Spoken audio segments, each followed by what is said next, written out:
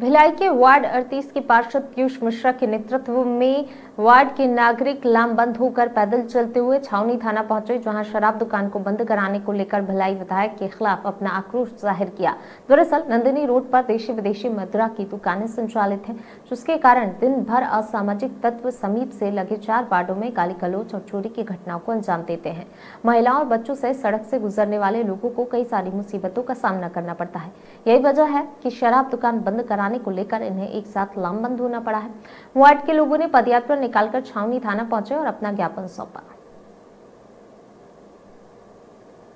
Road में जो शराब दुकान है, इससे यहाँ के आसपास के रहवासी और व्यापारी अत्यधिक परेशान हैं और कई लोगों ने अपना व्यापार बंद कर दिया, अपनी दुकानें बंद कर दी हैं और ये एक तरीके का षड्यंत्र किया जा रहा है कि औने पौने दाम में वहाँ जो व्यापारी हैं, वो अपनी दुकानों को बेच दें और इसके लिए लगातार कुछ रसूखदार लोगों के द्वारा प्रयास भी किया जा रहा है। हमारे जतका यहाँ से हमारे सामान्य पब्लिक, महिला, पुरुष, बच्चियाँ जो कॉलेज आते जाते इतना ज़्यादा छेड़खानी, हम स्वयं भी वो रास्ते से डेली हमारा रूटीन के रास्ता हरे हुआ।